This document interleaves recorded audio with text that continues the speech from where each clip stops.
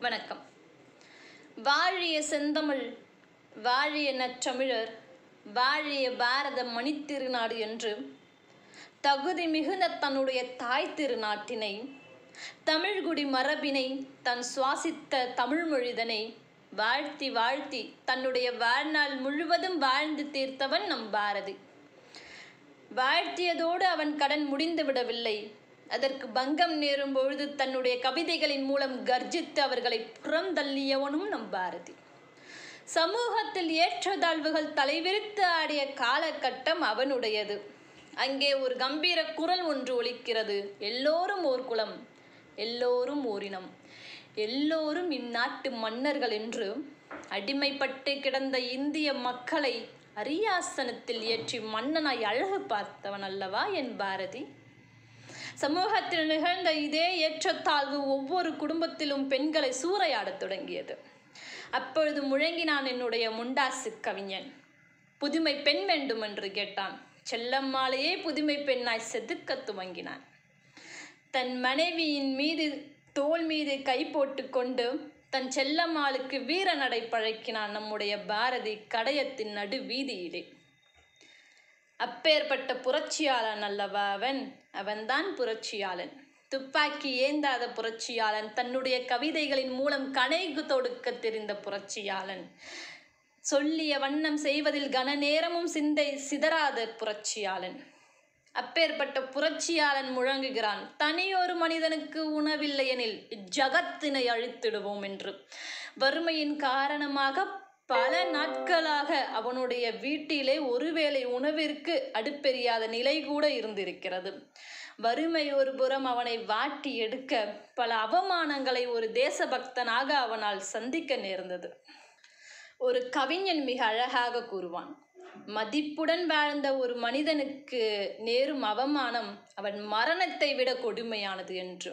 ஆனால் நம் பாரதி அந்த மரணத்தையும் முத்தமிட தயார் என்று கர்ஜித்து அவன் கூறிய வார்த்தை என்ன தெரியுமா? நமக்கு தொழில் கவிதை.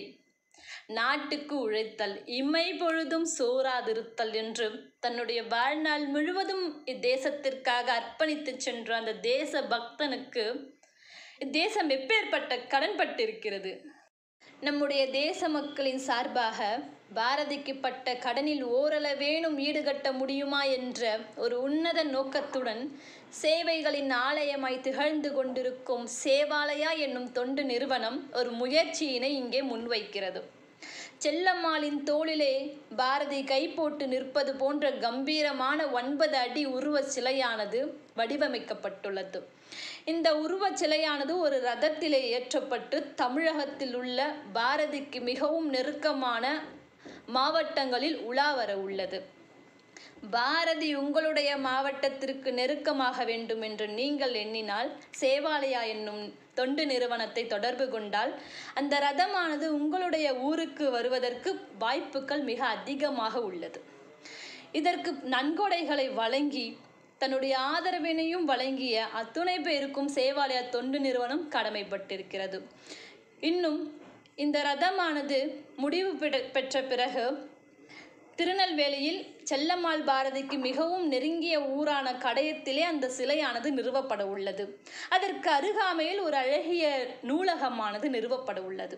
ஒரு நூலகம் உருவாக்கப்படும் பொழுது அந்த ஊரில் ஒரு சிறைச்சாலை மூடப்படுகிறது என்ற விவேகானந்தரின் கோட்டினை அடிக்கோடிடும் விதமாக ஒரு நூலகமானது சேவாலயா தொண்டு நிறுவனத்தின் சார்பாக அந்த சிலைக்கு அருகாமையிலே நிறுவப்பட உள்ளது. இதற்கான நிதி உதவியினை சேவாலயா நிறுவனமானது எதிர்பார்த்து காத்திருக்கிறது.